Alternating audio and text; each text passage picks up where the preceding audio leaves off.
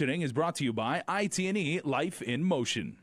KUAM News Headlines is presented by Calvo's Insurance, a legacy of trust. Serving Micronesia since 1938. Matson Navigation, serving Guam and Micronesia for 20 years. Cars Plus, Dodge Challenger, the undisputed champion. IP&E, fueling excellence. McDonald's of Guam, I'm loving it. And King's Restaurant, located in Tamuning and Dededo. Always open, always local.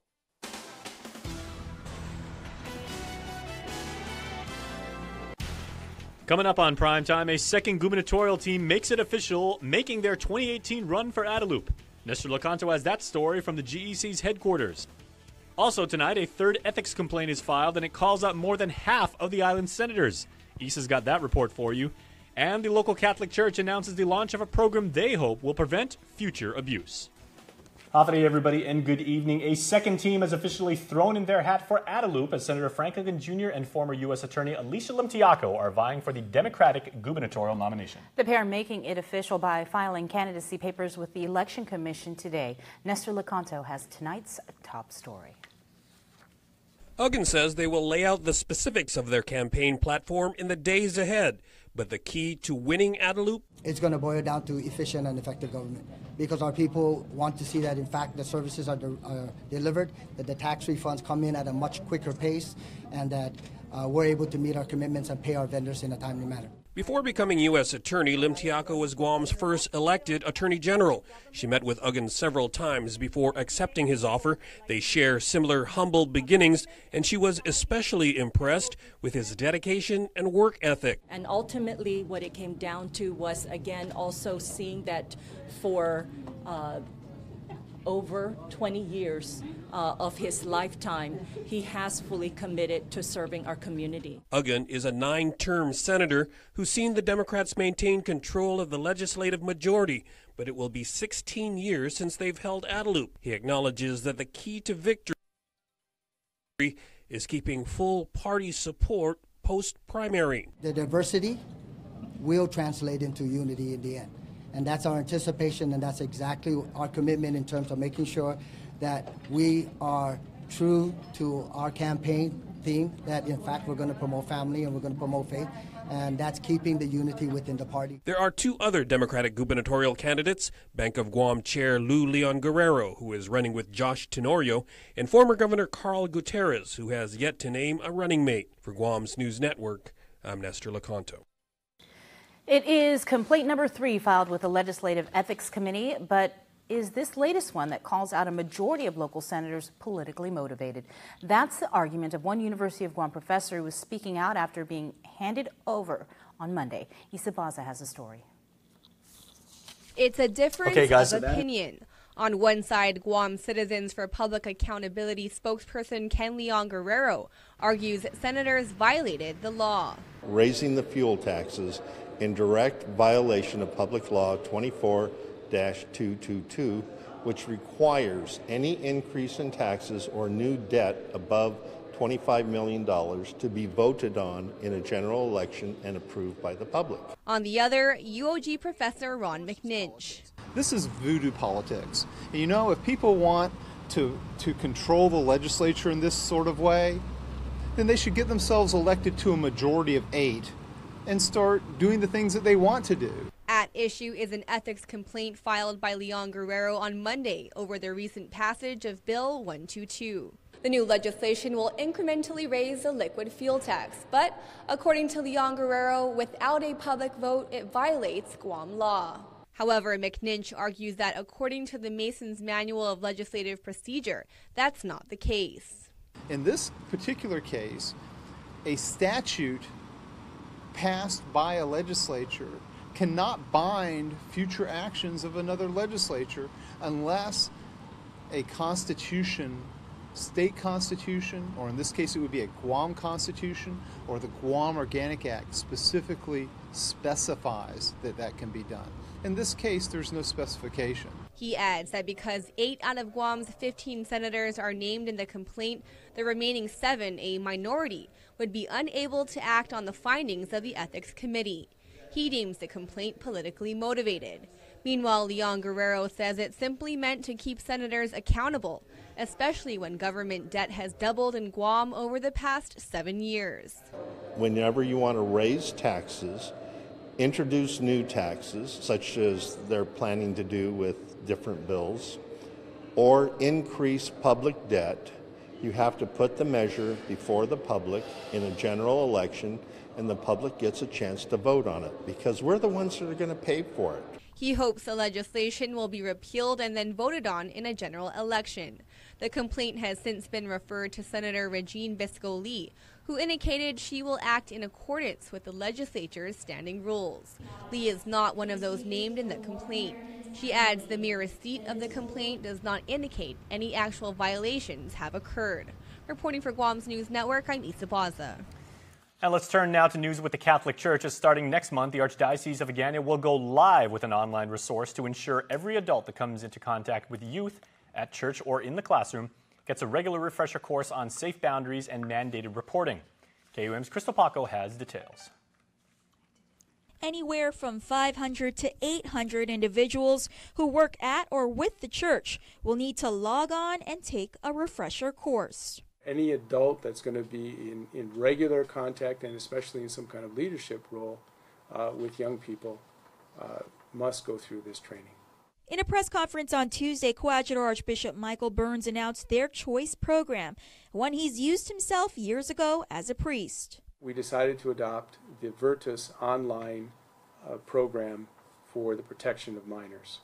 The program, according to the website, provides training on the signs of child sexual abuse, methods and means by which offenders commit abuse, and easy steps one can use to prevent child sexual abuse. To date, 130 plus clergy sexual abuse lawsuits have been filed in the local and federal courts. The majority of the cases are alleged to have occurred decades ago, and many of the perpetrators now deceased. The church remains committed to preventing future abuse. It uh, allows for uh, follow up online um, over the course of months so that it's not just a one time training, but there's uh, refresher courses that keep coming back to keep you alert. The program also provides for background checks. According to the church's new policies, background checks are mandatory. Prior to the adoption of the Virtus online trainings, the Task Force for the Protection of Minors conducted trainings at every parish and Catholic school. Archbishop Byrnes cited a recent criminal sexual conduct case out of Bishop Baumgartner Memorial School, which resulted in the arrest of current sports director Peregrine Perry Corpus Nicholas. It says something about the effectiveness of our task force because our task force efforts because the school did everything right um, in, in immediately making a report uh, to civil authorities, um, dealing uh, immediately with uh, the accused, and providing uh, support and, and, pastoral care and attention uh, to the victim. This is really important. And the uh, I've had it, the, the young person um, has returned to school and feels safe because she saw it in action. Virtus will go online by November 15 with an ambitious target date for the completion of trainings set for the end of January 2018. The program costs $2,800, a fee which the Chancery will absorb for the first year of implementation. Reporting for Guam's News Network, I'm Crystal Paco. A 53 year old Malojloj man is the latest person to come forward alleging child sex abuse involving the local Catholic Church. Identified only as JT, it was between 1973 through 1976 that he was sexually molested by Father Louis Brouillard, who was a priest at San Isidro Catholic Church and a Boy Scout master. JT, during that time, was an altar boy and Boy Scout. Several years later, in 1981, Father Brouillard wrote to JT's parents offering to pay for his college tuition, airfare, food, and housing. His parents convinced him that it was an opportunity he couldn't pass up. After he arrived, Father Brouillard took him to Canada, where he allegedly tried to force JT to have sex with him. The victim refused and told Brouillard he would not be his sex toy. This was the last time JT ever saw or had a sexual encounter with the priest. The Mandaña Drug Task Force net multiple arrests in Chalan Pago, Asan, and Dededo. In total, six people face drug charges as it started with a raid in Chalan Pago where 23-year-olds Jacob Perez and David San Nicolas were arrested. The U.S. Marshals had just executed a search warrant with Perez and San Nicolas found inside a home with drugs and linked to a stolen vehicle. Investigators later said they picked up 24 year old Jaylene Torres and 30 year old Cristobal Quintanilla in Asan.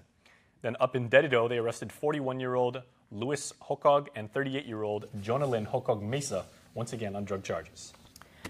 The pictures were circulating all day on social media. Several cars vandalized with graffiti at a Harmon apartment complex. Turns out the culprit may have been a 14 year old boy. Police attribute his capture after receiving information from the community. The teenager is confined at DYA, charged with criminal mischief beyond control and violation of curfew. Stay tuned, everybody. We are back right after this. There are more ways to experience KUAM News than any other source on Guam. Download the KUAM News app for your Apple or Android device for 24 7 news, sports, videos, weather, streaming of KUAM radio, and important news alerts. And stay connected at home with Guam's first app for Apple TV. All available now from the App Store.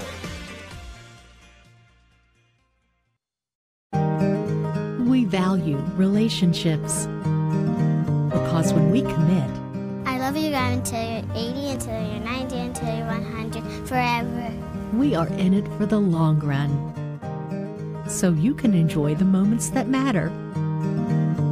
Because when we commit to relationships, we never stop caring. Calvo's Select Care, health care that is always there for you.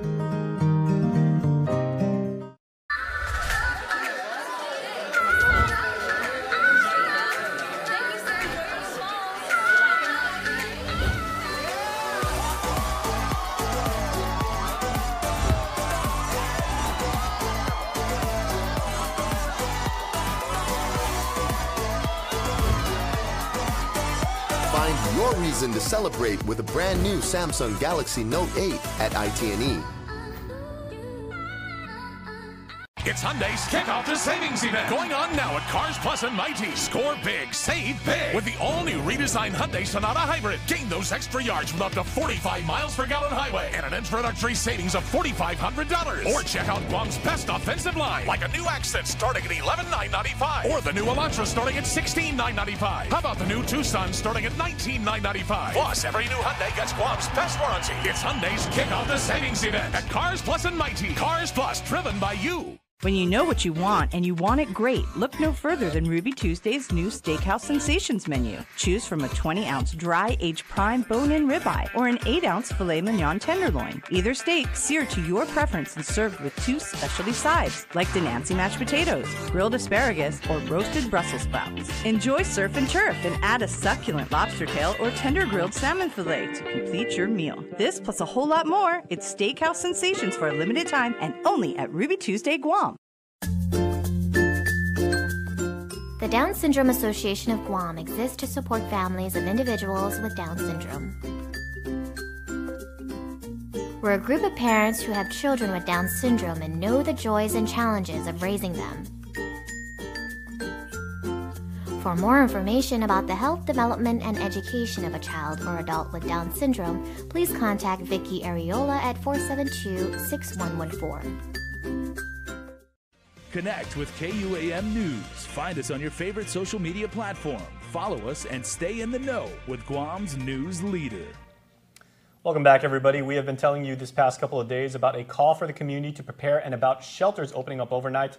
And the previously declared tropical storm watch has now been fortunately canceled.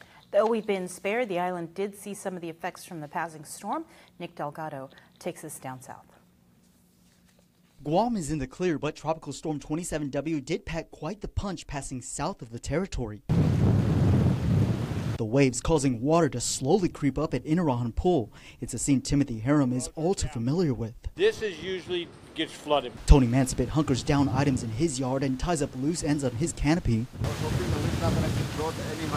Village Mayor Ernest Chargualaf works with DPW to keep drainages clear. A method to prevent flooding. For the most part, he says his community is always prepared. It's a recurring.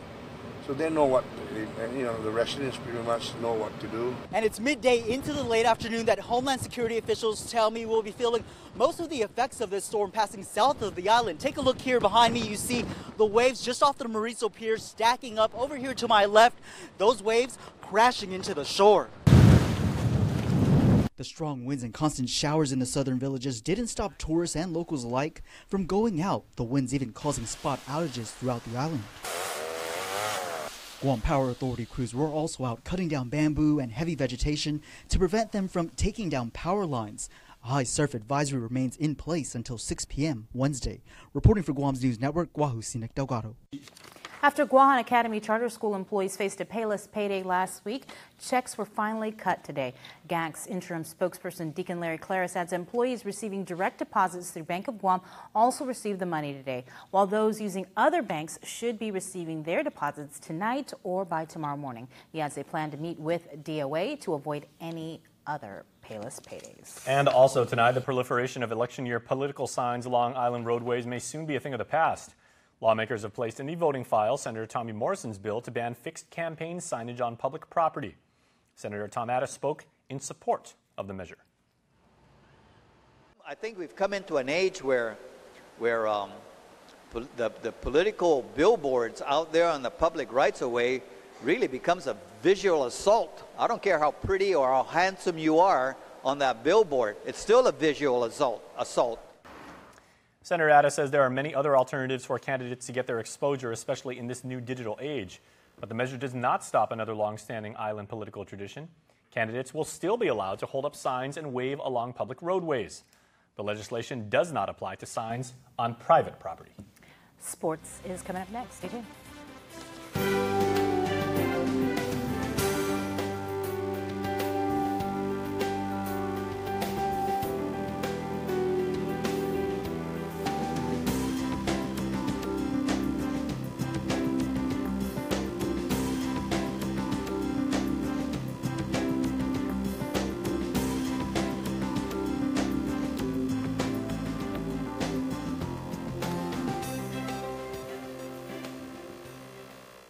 From the network that brought you up to three times more data comes the dawn of a new data. The epic story of Guam's only network brave enough to give 10 free gigs of bonus data on every line every month to customers who bundle their services.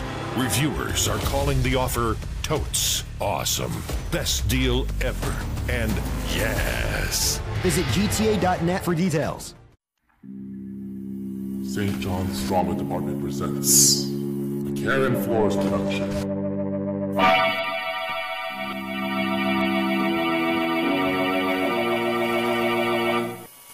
Lights Out. This original play is November 2nd, 3rd, and 4th, second floor of the plaza.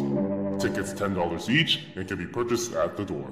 For more information, call 488 6899. Finally, I found chicken tenders that can pass as mine, which is nice because I've got better things to do. Peggy, I finished his shoulder. Millennials, am I right? No. Oh, no. Yes.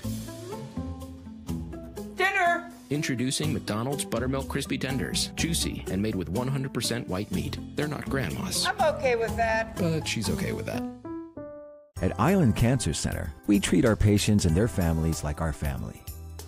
We have all been touched by cancer, and it is important to feel comfortable and secure under the care of our health professionals. You can count on us for skilled cancer specialists, the most advanced cancer fighting technology on the island, and a commitment to caring for you or your loved one with compassion, respect, and empathy. Our family, treating your family. Island Cancer Center, located on Guam Medical Plaza. Visit us at islandcancercenter.com or call 646 3363. This sale is so big, it's national. Get up to five medium pizzas for $7 each when you buy any medium or large pizza at menu price. You heard right. That's five medium pizzas for $7 each. The National Pizza Sale, only at Pizza Hut, the island's best. KUAM Sports is presented by Triple J.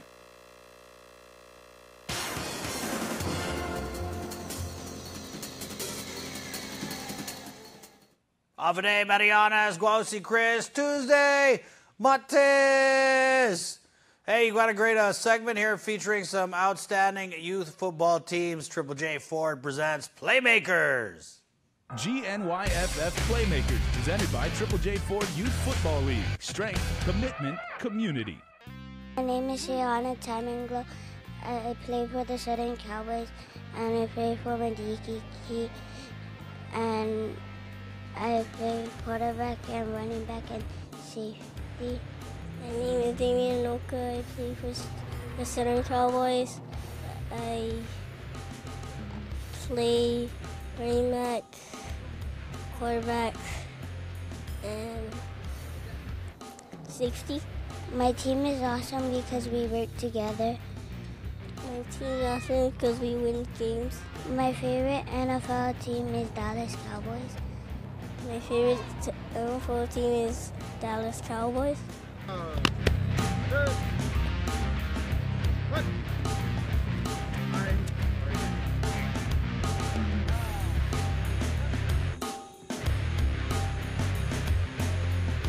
Break it down. My name is Jovan Smano. I play for the Southern Cowboys Mana Division. My position is guard, nose guard, and running back. My name is Kaden Nagoro. I play for the Southern Cowboys Manha Division. My positions are quarterback and safety. My team is awesome because our team, my teammates and my coaches. Football is important to me, to me because it because it's fun. Something that is valuable that I learned from the, my coaches to is to be um, humbled and no mercy and uh, play fair. Youth football is important to me because it teaches me respect and discipline. My coaches teach me to have respect and good sportsmanship. My favorite NFL team is the Dallas Cowboys. My favorite NFL team is the Seattle Seahawks. Get the ball! Get the ball! Go up, man! Go up! There you go! Oh!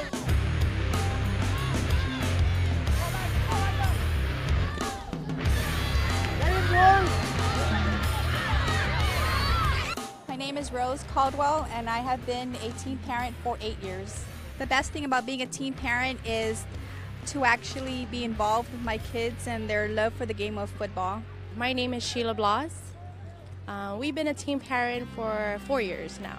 The best thing about being a teen parent is being involved in your kids' is lives with um, sports. My name is Felix Manglonia. I'm, I'm from Southern Cowboys. I'm Mega Division and I'm a runner back. Our team is awesome because the coaches, the team, and we like to have fun. Youth football is important to me because it teaches us discipline and to be humble. My favorite NFL team is the Dallas Cowboys. Hi, my name is Vance Montanotnia. I play for the the Southern Cowboys Mega Division. My position is is right tackle. What makes my team awesome is that we have teamwork and we put all our heart in it. Youth football is so important to me because ever since I was a little kid, I want to experience how football is. The valuable lesson I learned from my coaches is to never give up and keep on trying.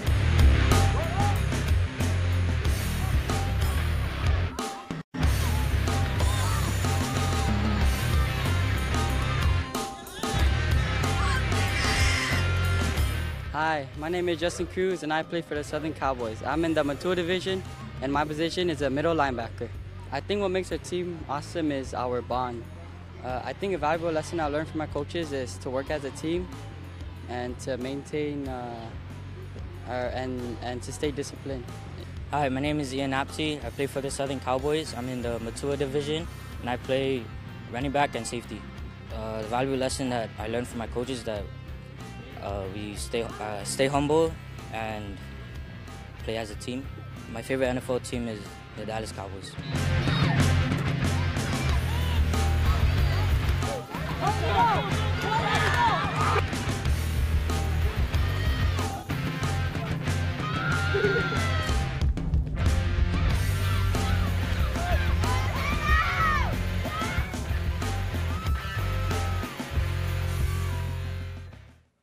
All right, great organization there, Southern Cowboys. Yeehaw! We got another playmakers for you, Esta Agupa, Guausi, Chris, and Jos. Nissan's fall clearance event is on with the best prices of the year. Save as much as $8,000 on the all new A passenger Armada. Get the cargo van selected best in class with 25 miles per gallon combined. The fuel efficient NV200 compact cargo van with 5 year, 100,000 mile bumper to bumper warranty starting at just 127 per pay period. Great deals on Versa Sedan, Frontier King Cab, or the 7 passenger Pathfinder starting at just 87 per pay period during the fall clearance event at Nissan Upper Tumon. Find out more at nissanguam.com. Say hello to the widest 4G LTE network in the Marianas Guam, Saipan, Tinian, and Rota. When your passion goes beyond your island, choose a plan that takes you further. With Docomo Pacific's My Plans, you can do a lot throughout the Marianas 20 gigs for $79 or 30 gigs for $99. All the data you need to connect, share, and make all your ideas happen. Dream big, reach higher with My Plans. Docomo Pacific, better together. This sale is so big, it's national. Get up to five medium pizzas for $7 each when you buy any medium or large pizza at menu price. You heard right. That's five medium pizzas for $7 each. The National Pizza Sale, only at Pizza Hut, the island's best. And before we close out the news tonight, here's your latest round of birthday shoutouts.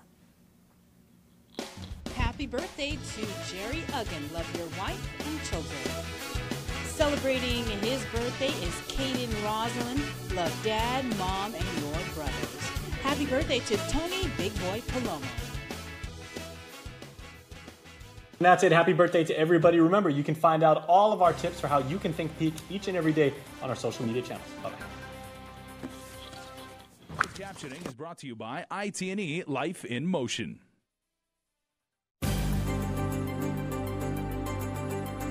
Think Pink is made possible by our community partners American Cancer Society, IHP Medical Group, Island Cancer Center, and Foodies Shell. Hafa everyone. I'm Isa Baza. Welcome to our special Think Pink edition of Health, Home, and Lifestyle. Tonight we have dedicated our show to spreading awareness about breast cancer because the month of October is, of course, Breast Cancer Awareness Month. We begin our special with details about a breast cancer conference titled Unmasking Breast Cancer Sharing Wisdom and Resources that took place on Friday. Here's more.